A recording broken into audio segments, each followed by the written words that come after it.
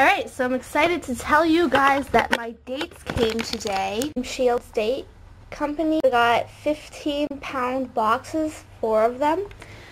And the thing I like about this company, I'm not affiliated with them, I just speak highly about them, is that they ship their dates year round.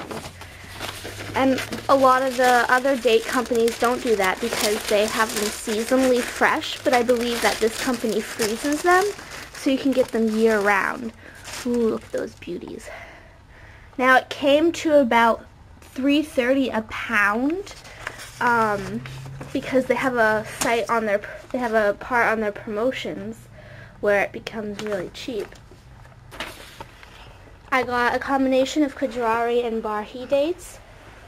They're really small, but they're so ooey and gooey and delicious highly suggest you guys get some of these.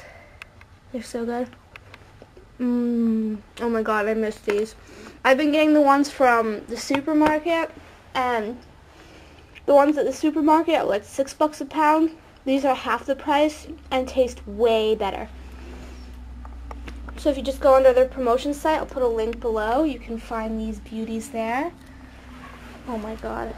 They're just so good. Um, I think these ones are the Barhi dates. Definitely get some. You can reuse these boxes that you get from the supermarket if you have gotten dried dates before and just fill them up and then you know that this is about a pound serving size. So